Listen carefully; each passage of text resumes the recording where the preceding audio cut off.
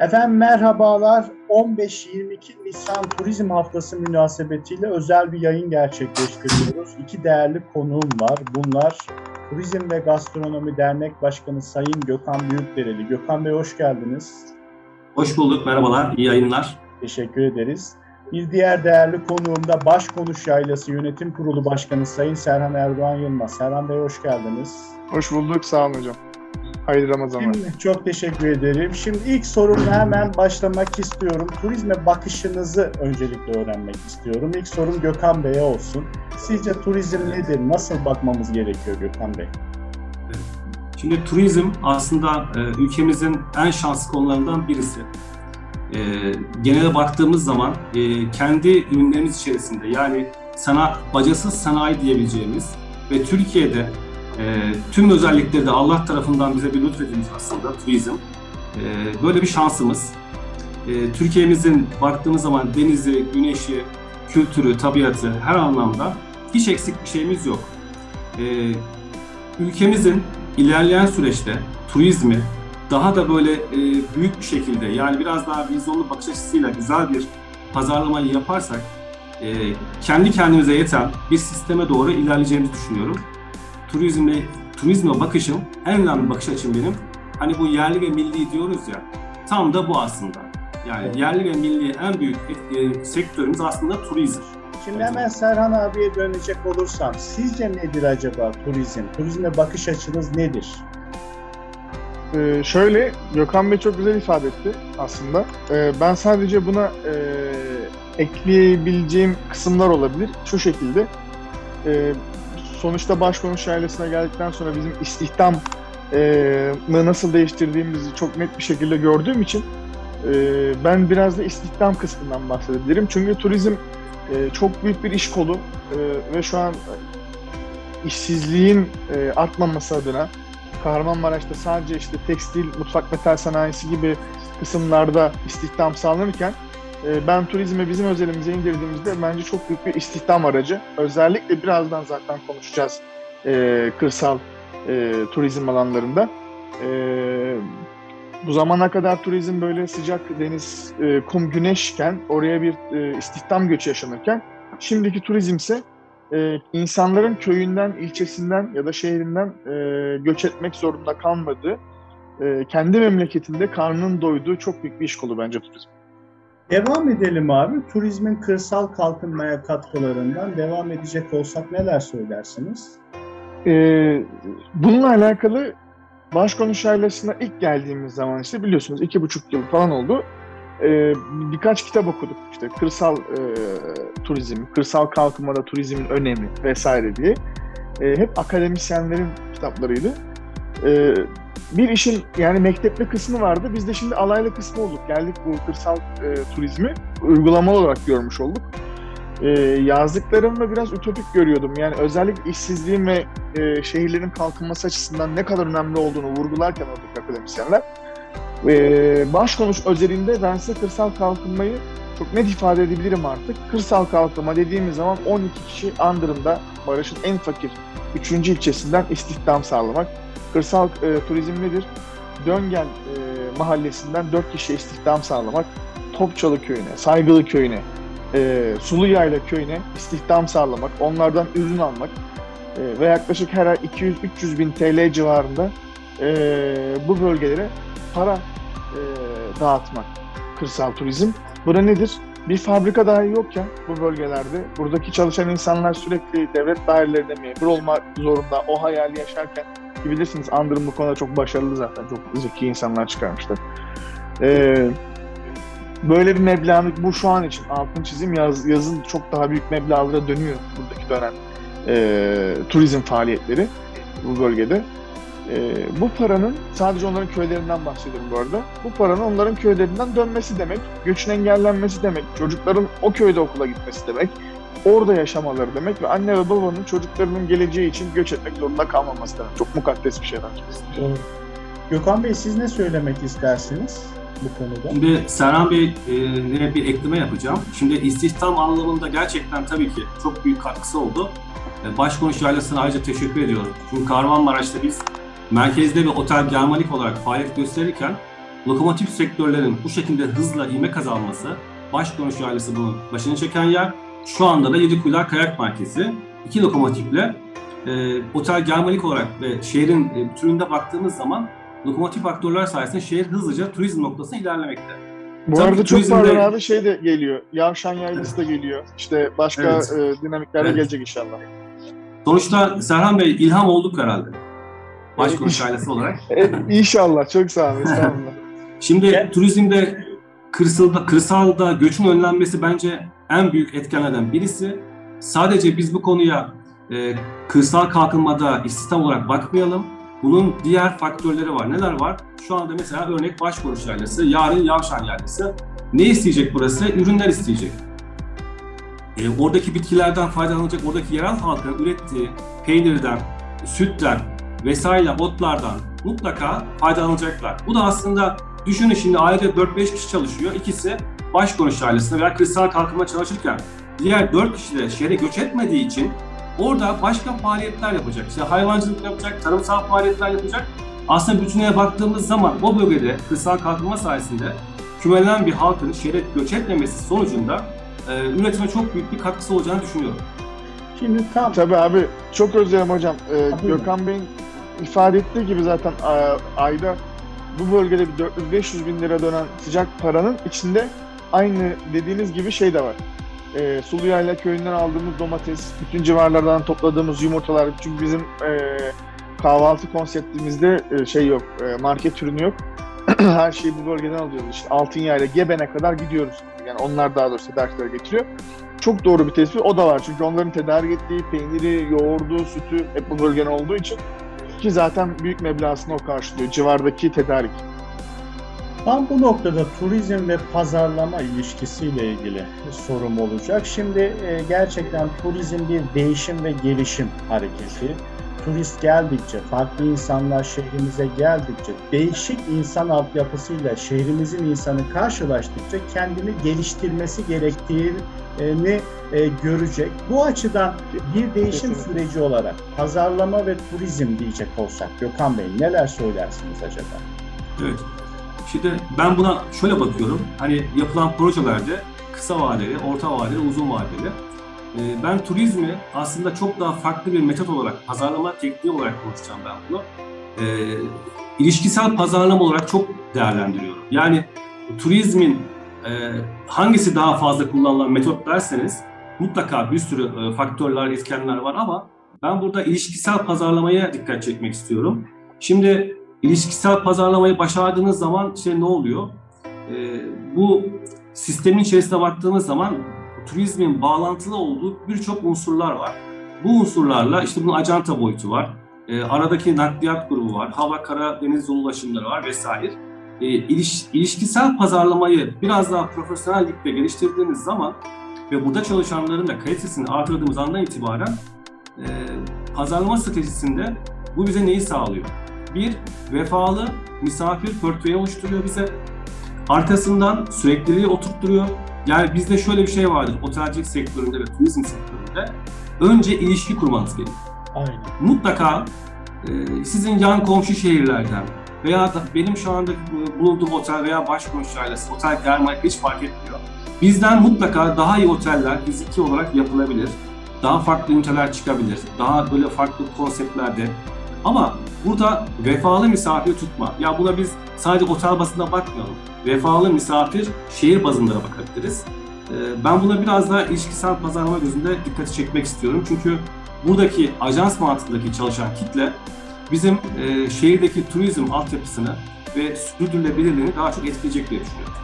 Siz ne söylemek istersiniz Serhan Bey bu hususta? Pazarlama ve turizm ilişkisi açısından. Ee, yani hem Gökhan Başkanıma da hak vermekle beraber aynı zamanda da e, ilk açılış cümleniz çok güzeldi. Şehrin, halkın da bu turizmi e, anlaması, kabullenmesi aslında buranın temel noktası, kilit noktası. Çünkü e, Erciyes halkı o kadar güzel Kayseri Erciyes halkı e, özümsemiş ki bu duygu. Turizme çok yansıyor. Erzurum'a gittiğimde Palandöken'de o halk turisti çok e, net bir şekilde özümsemiş. Ee, Uludağ'a gittiğimizde zaten söylemeye gerek yok. Bursa halkı turizmle tamamen iç içe geçmiş. Yeni açılan mekanlar da ona göre zaten yıllarca açılmış. Ee, Kahramanmaraş'ta ben bunun zorluğunu ilk başta inanılmaz çektim. Şimdi başkonuş için bir şey yapıyoruz. Hemen adam kendine pay biçiyor. Ya işte ben nasıl geleceğim? Ya arkadaş sen bir dur. Bizim turizmdeki hedef kitlemiz sen değilsin zaten. Bizim turizmdeki hedef kitlemiz şehir dışı, yurt dışından gelen turist. Yani sana zaten eee, biz hep tere, tereyi tereciye satmışız. İşte her yaptığımız hamleyi kendi Maraş halkına, kendi Maraş halkına. O yüzden turizmde bir adım ileri gidememişiz ki. Bir adım diyorum. Yani bizim turizmden anladığımız Sami Hocam bu zamana kadar şu olmuş. Nerede mangal yerleyebilirim? Nerede kebap yapabilirim? Nerede Evet. pazar günü pikniğe gidebilirim? Ya bu turizm değil. Bunun kimseye bir faydası da yok. Bakın Başkonuş pi- günübirlik piknik bitti. Orman yangınları sebebiyle. E şimdi ama yeni bir sayfa açıldı bizim açımızdan.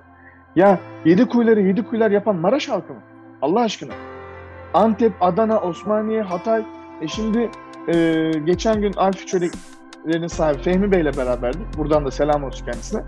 Fehmi Bey de diyor ki ya yedi kuyulardan önce kendi dükkanı Trabzon Caddesi'nde yedi kuyulardan sonra diye olayı ikiye ayırdım diyor. Bakın ne kadar net bir cümle. Yani bütün olayın pazarlaması bu zaten halkın turizme destek vermesi lazım ki bundan para kazanıyor. E, hafta sonları kapalı çarşıda dükkan kapanırdı. Şimdi yedi kuyular sayesinde dükkanlar kapalı değil. Alın buyurun. Yarın bir gün Yavşan Yaylası e, işin içine girecek. Ya ben Maraş halkına burada kebap başkonuşta gelip de Maraş halkı kebap yaparak Andırım'dan 12 kişi, Döngel Mahallesi'nden 4 kişi, civar köylerden 5-6 kişi istihdam sağlayabilir miyim? Allah aşkına. O yüzden giriş cümleni çok net netti ve benim çok müzdarip olduğum bir şeydi. Ee, turizm o şehrin halkına olmaz. Adı o zaman turizm olmaz zaten. Adı hizmet olur. Onu da belediyeler sosyal tesislerle yapar. Biraz biz bu konuyu ayırmamız lazım. Turizmin Maraş halkı için, Kahramanmaraş halkı için önem arz eden tarafı şudur. Turizm Kahramanmaraş halkının evlatlarının ekmek yiyeceği bir sektördür.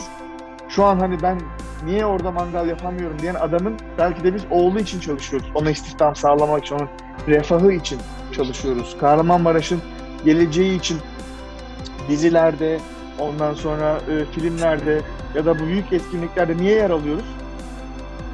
Bertiz'deki vatandaşımız, Üngüt'teki vatandaşımız gelsin diye mi? Ona tanıtmak is- istememiz istesek ulusal basında ya da büyük dizilerde niye yer alalım?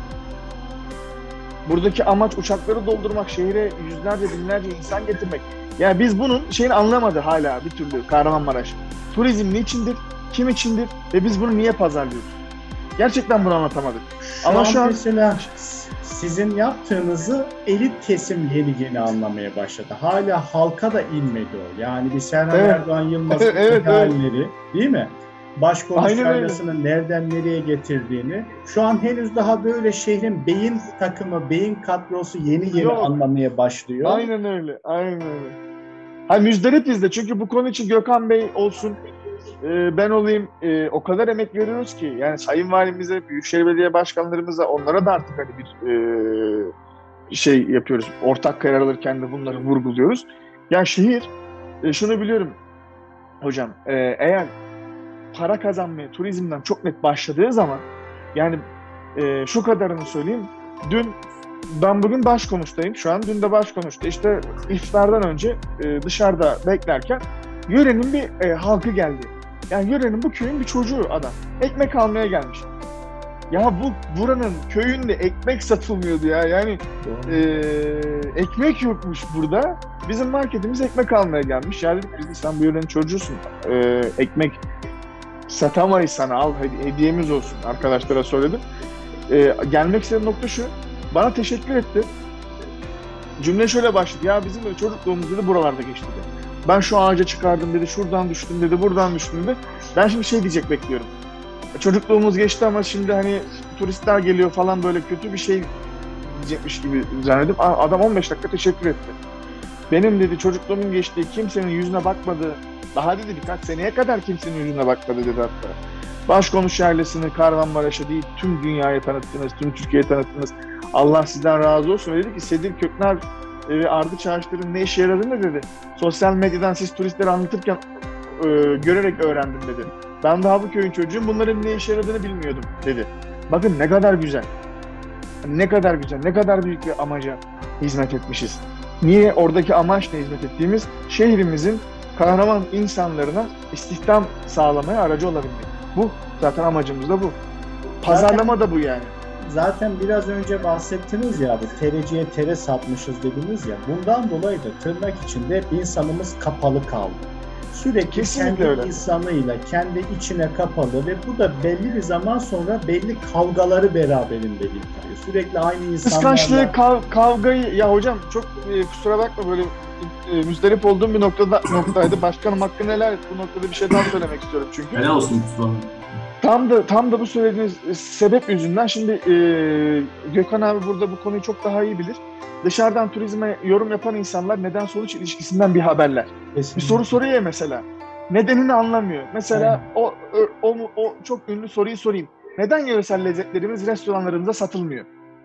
Her e, turizmle alakalı bizim etrafımızda olan insanların sorusu. Neden satılmıyor? Ya arkadaş işte bu yüzden satılmıyor.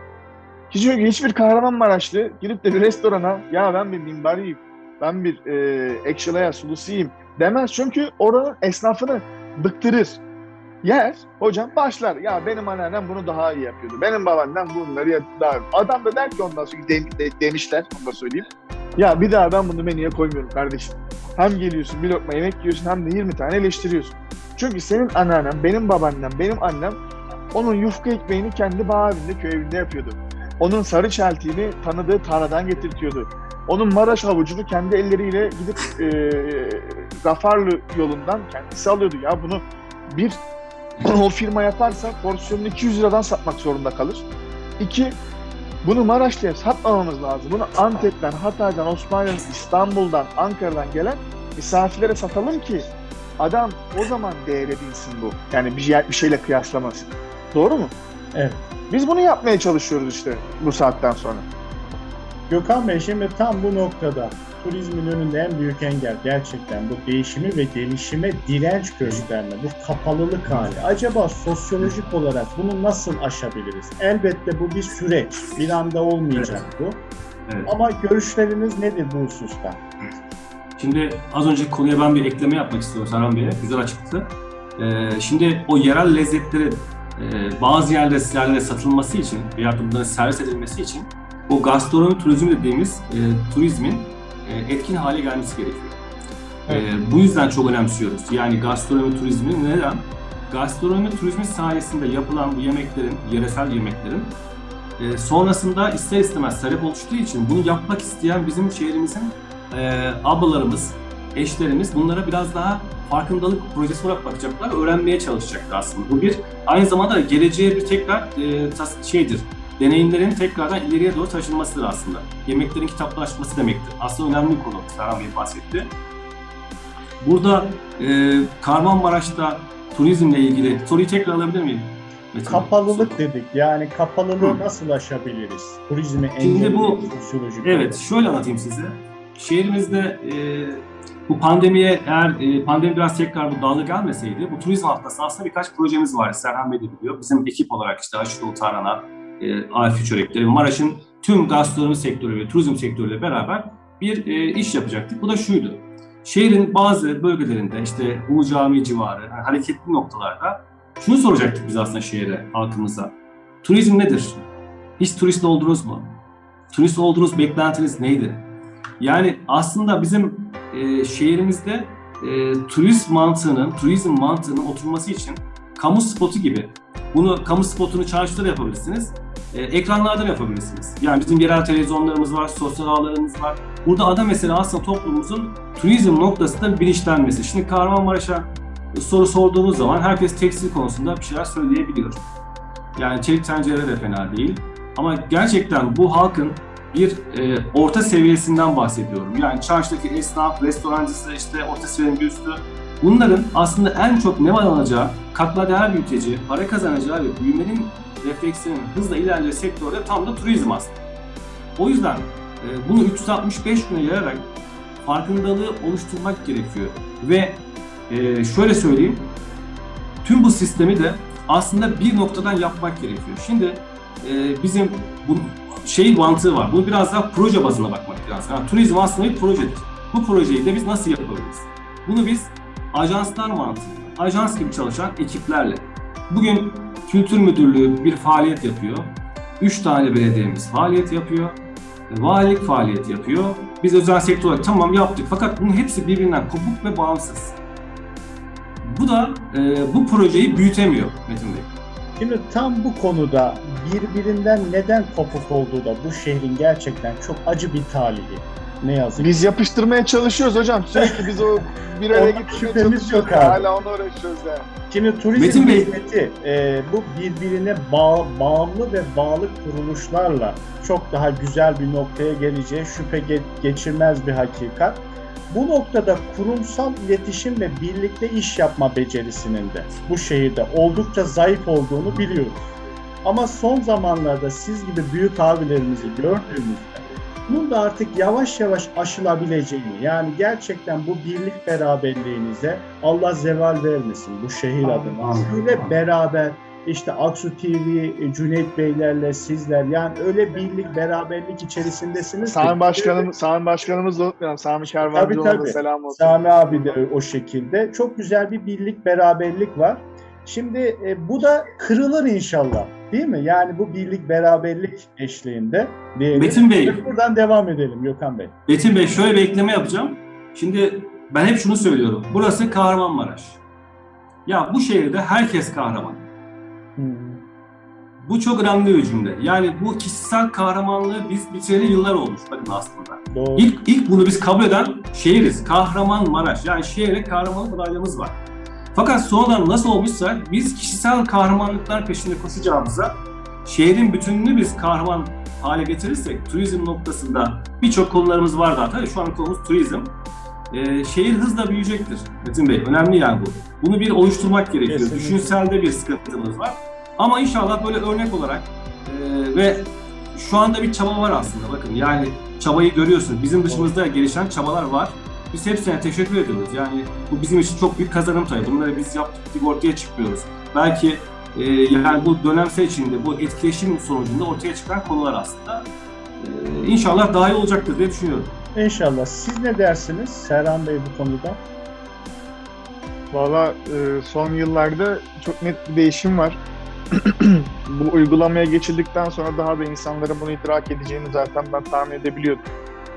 E, o yüzden de insanlar turizmden para kazandıkça e, özellikle diyorum bunu altını çiziyorum yani turizmden para kazandıkça e, bence halkımız turizmi daha da benimseyecektir diye düşünüyorum inşallah. Şimdi biraz da kurumsal bazda konuyu ele aldığımızda belki de e, tüm ülkemizde İl Kültür Turizm Müdürlüklerinin e, turizm faaliyetlerine doğrudan dahil olamama, doğrudan merkezde işlevselleşememe gibi bir problemi var. Bu noktada İl Kültür Turizm Müdürlüğümüzü şehir portföyünde nasıl değerlendiriyorsunuz hocam? Ben cevaplıyorum. Gökhan abiden Ben- başlayalım. evet. Tamam. Abi sen lütfen. Ee, şimdi şöyle, e, şimdi bir bir şimdi Turizm İl Müdürlüğü'nün bütçesine bakıyoruz. Çok bütçe var mı? Yok. Her şey bütçe mi aslında? Değil. Fakat insan kaynaklarına bakıyoruz. Sonuçta buralar bir devlet dairesi kurumları. Şimdi Turizm İl Müdürlüğü'nde tahmin ediyorum 60-70 kişi çalışıyor. Hepsinin de eline sağlık, emeğine sağlık, sıkıntı yok. Ama biz bu insanları 20 yıl önce, 30 yıl önce işe almışız. Ama konjonktür değişmiş Metin Bey, Serhan Bey. Sistem değişmiş. E, turizmin beklentileri, o zamanki otel sayısı değişmiş. Şu anki oradaki kadroyu peki Turizm İl Müdürlüğü değiştirebiliyor mu? Hayır. Düşünün ben otel işletiyorum. Beğenmediğim ya da işi çalışmayan kadroyu ben işe atamazsam, Doğru. yeni daha kaliteli, vizyonlu ekibi kuramazsam ben nasıl iş yapacağım? Bu durumda devlet dairesi konsepti tabii ki ayrı düşünecek kurumsal bir mantık. Ama bunun yanında sonradan eklenen eklentiler var. Neler var mesela? Ee, belediyelerimizin turizm bölümleri. Bakın belediyelerde hem bütçe bakımından hem siyasi işlev yapma açısından baktığımız zaman belediyelerimizin çok daha hem bütçesi var hem de istediği personeli oraya yerleştirip bu turizm noktasında diğer şehrin dinamikleriyle bir araya gelip daha işler yapabilir aslında. Yani kültür müdürlüğünde tabii ki bir tekrar reorganizasyon yapılması gerekiyor. Bunu kabul ediyorum. Ama daha hızlı ulaşabileceğimiz ye- yerel belediyeler bazında turizm noktalarında ajans gibi çalışan ekipler kurmayı başarsak bunları da özel sektör temsilcilerine başına birisini koyup veyahut da genel içinden birisini seçip bunu oluşturabilirsek bence daha hızlı olabilir. Dediğim gibi kültür müdürlükleri gerçekten şu anda tamamen bir e, sistem değişikliğinin yapılıyor olması gerekiyor. Düşünün kültür müdürlüğü içinde rehber diyor. Ha bu buradaki kültür müdürlüğünün suçu mu? Hayır. Sistemin kurgulamasında bir sıkıntı var başlangıçta ya da bugüne geldiğimizde geçmişe kurulan sistem artık buraya cevap veremiyor. Doğru. Biz bunu o zaman nasıl aşarız Metin Bey? Diğer aktörler nelerdir? İşte ticaret ve sanayi odasıdır. Belediyenin turizm birimleridir. E peki biz bunları istediğimiz insanları seçebiliyor biliyor muyuz? Evet. Yani 50 tane niteliksiz personel yerine 20 tane nitelikli ajans kafasında ve vizyonlu insanlarla bunları özel sektörleri bazı kurumlarla birleştirip tekrardan yönetirsek bence daha iyi noktaya gideriz diye düşünüyorum. Peki e, İl Kültür Turizm Müdürlüğü diğer kurumları tetikleyici unsur olması gerekmez mi? Yani her şey evet bütçe değil ama biraz daha tabiri caizse harekete geçirme, onları kımıldamaz hallerini, hantal yapılarını biraz daha böyle sürekli dürtmek suretiyle harekete geçirmek zorunda değil midir? Serhan abi. Ya şimdi eee, muhakkak öyledir. Biz o yüzden eee, son bir yıldır özellikle Metin Hocam eee, herhangi kurumlardan bağımsız biz böyle eee Fatih Terim'in tabiriyle bam bam bam biz oynuyoruz yani hiç eee, sağa dönmüyoruz, sola dönmüyoruz ya işte şuradan biraz desteklenmiyoruz. Biz eee işimizi yapıyoruz, projemizi yapıyoruz, fuarımıza katılıyoruz. Sonuçlarında tüm ee, bunu sadece biz yaptık demeden Kahramanmaraş'a e, yayıyoruz yani. Bizim yaptığımız bu. Siz deyince hat- hatırladım kurumu. Doğru. Şimdi Evet. turizmde e, hangi turizm çeşitliliğini tercih ettiğinizi e, sormak istiyorum. Bu konuda doğa turizmi mi, inanç turizmi mi, yemek kültürü mü? Serhan abiden başlayalım abi. Ne söylemek istersiniz? Şimdi, şimdi Metin Bey, e, bu, bu güzel bir soru. Aynı zamanda çünkü benim turizmle alakalı ilk defa sizin programınızda dile getirmek istediğim, e, bu bilginin de patentinin e, bize ait olduğunu belirtmek istiyorum. E, ilk defa sizin programınızda söylemek istediğim bir bilgi söylemek istiyorum. Şimdi ben uzun zaman tedarik zinciri müdürü olarak görev aldım. E, sanayi sektöründe, endüstri sektöründeydim. İşte enerjidir, kağıttır vesaire. E, hep böyle bir büyük bir fabrika kurulduğunda Maraş'a, işte tekstil fabrikası falan kurulduğunda şey deriz. İşte i- ihracat açığımızı, cari açığımızı kapatıyoruz. İşte ithalat, ihracat noksanının baremini daraltıyoruz falan derler. Ben de derdim ki hep, çünkü sektör, o fabrikaları kuran bendim. Benim mesleğim oydu, fabrikaları kurmaktı. Ya derdim nasıl kapatıyoruz ya? 80-100 milyon euro zaten bu makineler, e, yabancı makineler. Yani yerli üretim yapıyoruz ama makineler, üretim, kimyasal, bakım, yabancı olunca aslında çok da bir şey değişmiyor. Özellikle hele ki bir de parantezde ham maddeniz yabancıysa siz yerli üretim yapmıyorsunuz. Siz o üretimi sadece Türkiye'de üretiyorsunuz. Şu an iPhone'un Çin'de üretilmesi gibi. Anlatabildim mi demek istediğim? Hani yerli üretimde bir nüans var. Şimdi turizme geleceğim. Sorduğunuz soruya geleceğim. Turizm içerisinde üretiminde dövize bağlılık olmayan tek sektör. Bu çok çok çok önemli. Hani e, bir tekstil fabrikası kurulduğunu düşün Maraş'a. E, bütün makineler Almanya'dan ya da Güney Kore'den geldiğini farz edin. Bakımların, alınan kimyasalların gene yurt dışından alındığını farz edin. Ne yapmış oluruz sadece? İstihdam sağlamış oluruz. Doğru mu? Şimdi turizm odaklı bakalım. Gökhan abi otelinde yemek veriyor. Odaların full olduğunu farz edelim. E, eti nereden alıyor? Eti Japonya'dan ithal etmiyor. Ya da e, otel malzemesini e, Afrika'dan ithal etmiyor. Avrupa'dan ithal etmiyor. Yerli üretim işte o zaman kazanıyor. O zaman para burada kalıyor.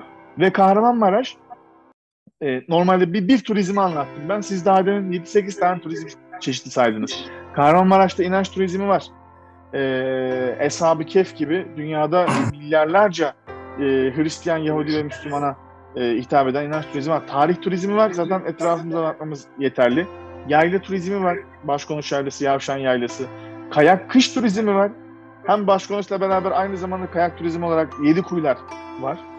Ee, sağlık turizmi var, kaplıcalarımız var. Gastronomi turizmimiz var. Başkanımız burada zaten. Hani birçok gastronomi alanında e, etkinlik var. Bütün turizmleri başkentlik yapan başka bir şehir var mı Gökhan Başkanım senin bildiğin? Yok bir de şunu eklerim Serhan'cığım. Su sporları. Ha doğru. Her yerimiz olan- barajlar. Yani bunu Vallahi ekleyebiliriz öyle. daha. Birçok konu var. Vallahi öyle.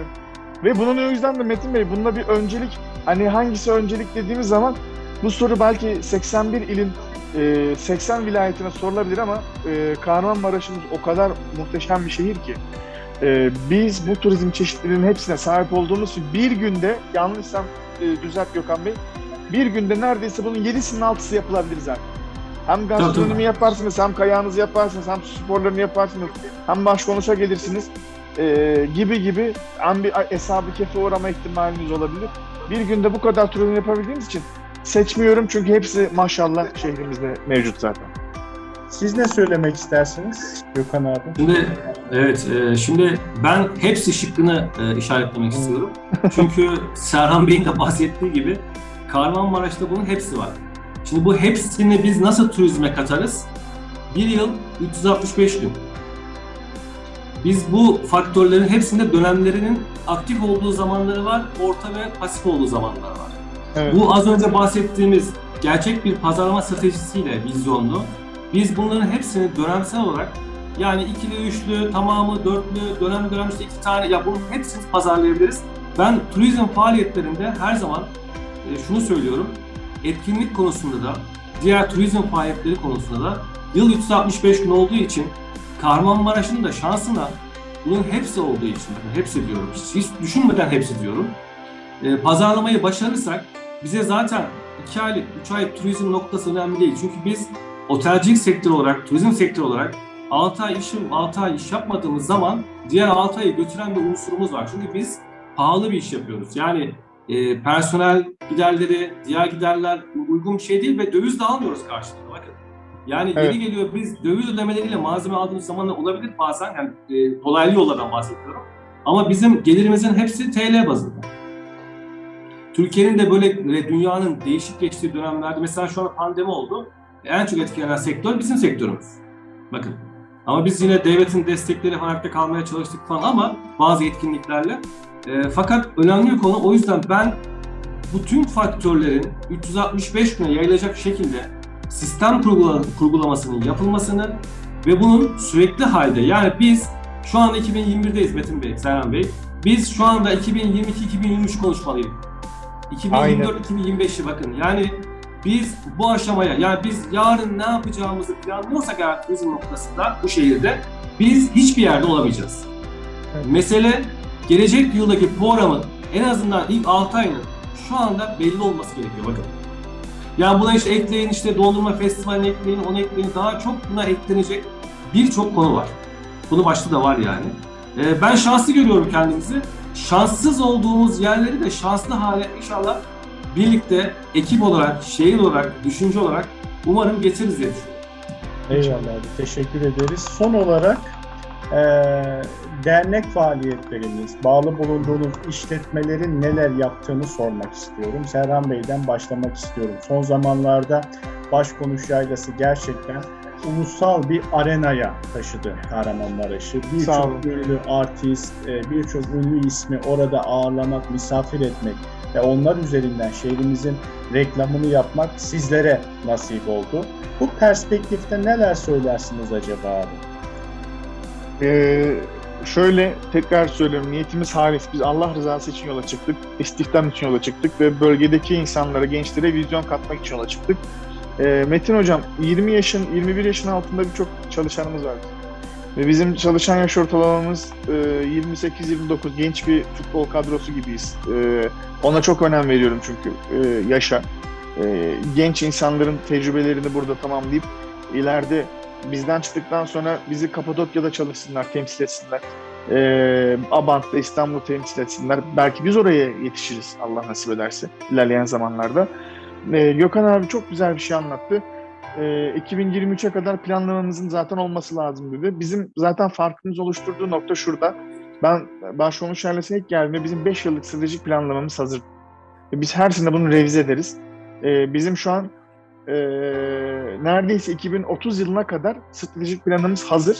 Her sene sonunda ne kadar öne gitmişiz ona bakıyoruz. Ona göre planı tekrardan öne çekiyoruz. Ve maşallah iki buçuk senede biz aslında beş yılı e, tamamlamışız çok şükür. Bu da e, Allah'ın ve e, bize inanan tüm sevdiklerimizin duaları sayesinde. E, şimdi şu an başkonuşta 17 adet villamız yapılıyor. E, 17 adet vardı. Şimdi 17 tane 17 adet daha villa yapıyoruz. E, bungalow villa yapıyoruz. E, yeni bir restoranımız var. Bölgenin en büyük restoranlarından bir tanesi oluyor. Ama yani oradaki restoranda da artık şey hani Norveç'e gitmeyin falan diyeceğim. E, zaten pandemiden kimse bir yere gidemiyor. O yüzden biz başkonuş ailesine e, davet ediyor olacağız. Çok güzel bir mimaride yapılıyor. Danışmanımız Yunus Emre Akko, restoran danışmanı. E, biz daha yeni başladık. Yani bu zamana kadar olanlara hiç aldanmayın. İnşallah önümüzdeki e, yıllarda Allah sağlık sıhhat versin, ülkemize delik düzen versin. E, çok daha büyük projelerle geliyoruz inşallah. Ekip olarak da inanılmaz. Değil mi? Valla fragman, fragman mı diyelim? E, aynen öyle. Yani bir ön ön izlemeydi. Kesinlikle öyle. Ekip olarak da çok büyük projelerimiz var. Gökhan Beylerle, Fehmi Beyler, Samet Beyler, Sayın Başkanımızla. Diğer Emrah'ı da analım mesela artık yeni yeni insanlar da e, sağ olsun. E, o hani şu, şu olmak var ya, şu şu o kadar Aynen. güzel bir şey ki. Paça'da, Biber'de Ahmet kardeşimiz Marbi Biber geldi şimdi. E, çok güçlü oluyoruz. Kendimizi çok iyi hissediyoruz ve finalde de e, uzun metrajlı Yedi Güzel Adam'da olduğu gibi bir dizi ya da bir film çekebilirsek inşallah şehirde e, bu projeyi hızlandırmış oluruz diye tahmin ediyorum. Biraz da basında başkonuş yaylası diyecek olsak, biraz önce bir şeyden bahsetmiştim. Türkiye Gazetesi falan eğer e, onu Ya evet onun onun da e, e, ara vermişken fark ettim. Türkiye Gazetesi e, Genel Koordinatörü Sayın Yücel Koç Bey o da geçen hafta buradaydı. E, bir yazı yazmış. E, şimdi Kahramanmaraş'ı anlatıyor ve yazının başlığı çok güzel. E, Antepli kardeşlerimize de buradan selam ediyoruz. E, Türkiye Gaziantep'e hayran, Antepli Kahramanmaraş'a hayran. O kadar güzel bir üç gün kalaraktan demek ki çok iyi gazeteciymiş kendisi. Aynı zamanda Sayın Cumhurbaşkanımızın da çok e, yakinen tanıdığı usta bir isim. E, üç günde bu kadar güzel teşhis. Türkiye Antep hayran. Biz de Antep'i beğenmeyiz biliyorsunuz hani e, pazarlama kısmı dışında. E, Antepli bize hayran niye? Çünkü turizm bizde, o kadar turizm çeşitliliği bizde, doğa bizde e, ve e, o kadar muhteşem bir yazı yazmış ki Kahramanmaraş'ı anlatan. Özellikle başkonuş ailesine çok güzel bir yer e, ayırmış kendisi. E, bakın bunlar çok objektif yorumlardır. İstanbul'da olan Türkiye'nin en ünlü gazetelerinden bir tanesinin genel koordinatörüne Kahramanmaraş'la alakalı bu kadar güzel cümleler kullandırabiliyorsak demek ki biz bunu daha pazarlamadan yapmışız. Demek ki bizde var zaten. Bundan sonrası da inşallah Kahramanmaraş halkının e, onlar bunu görsün. Ulusal basın, yerel basın ne kadar güzel bahsediyor Kahramanmaraş turizminden. Halkımız da bu konuda artık bize turizmle alakası olsun ya da olmasın destek versin. Onların dualarıyla Allah'ın izniyle sizlerin bu programları sayesinde çok daha güzel yerlere geleceğimize hiç şüphem yok inşallah. İnşallah. Mesela İsviçre'nin Dublin şehri var. e, Dünya Edebiyat Kenti listesinde. Dublin'in bir özelliği var. Dublin çok hoş bir e, doğa turizmini, yayla kültürünü oturtturmuş bir şehir. Hep şu söyleniyor dünya edebiyat literatüründe Dublin gibi bir şehri olduğu için temiz hava, temiz düşünceyi beraberinde getiriyor. Temiz Evet. düşüncelerde güzel eserleri ortaya çıkarıyor. Çok İnşallah doğru. Başkonuşta şehrimizin edebiyat kenti olma iddiasındaki bu temiz hava, temiz düşünceyi beraberinde getiririn ön ayağında oluşturacağını Çok güzel. ben düşünüyorum. Mevlana'nın dediği gibi işte heh, yani güzel gören güzel düşünür, güzel düşünen hayattan lezzet alır e, dediği gibi e, çok güzel söylediniz. Ben size de çok teşekkür ederim. Turizm konusunda Metin Bey sizin bu e, bu arada bu tanıtımlarınız bizim neler yapmak istediğimizi insanlara e, anlatma kısmı e, olmasa emin olun yaptıklarımızın da çok da bir anlamı kalmayacak. An, a- nacizane ayrıca teşekkür ederim bu konuda. Biz de teşekkür ederiz. Gökhan abi size geldiğimizde Otel Germenika ve e, Gastronomi Derneği olarak neler yapıyorsunuz acaba? Evet. Metin Bey, e, gerçekten şimdi şöyle anlatayım. Az önceki konularla biraz bağlamak istiyorum ben. Şimdi hani bahsettik ya işte kültür müdürlüğü şurası burası. E, bizim şehirde turizmin e, hani doğru fikir tüm zamanlarda, tüm durumlarda ve tüm ilişkilerde her zaman değişmez. Ve arkasına da birçok topluluğu sürükleyerek ilerler. Aslında yapmaya çalıştığımız nokta buydu.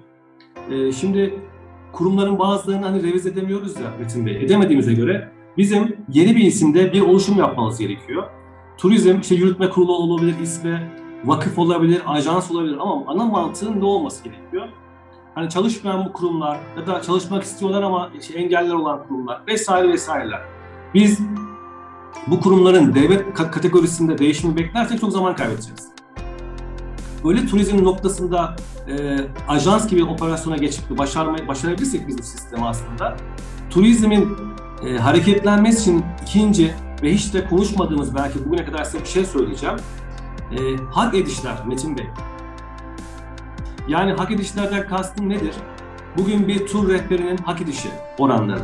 Yani bunu şimdi ne Büyükşehir Belediyesi, ne diğer ilçe belediyeleri, Ticaret ve Sanayi Odası, e, İl Kültür Müdürlüğü bunlar hiçbirini bilemezler. Bunu kim bilebilir? Bahsettiğimiz tek yerden yönetim sisteminde bu gelecek tüm tur ajantalarıyla görüşme yapan e, şirketin ya da bu vakfın ismini ne koyarsak artık hak edişleri belirlemeden Metin Bey hiçbir yere ilerleyemeyeceğiz. Bunu bir önce cebimizde bir koyalım. Çok önemli bir konu bu.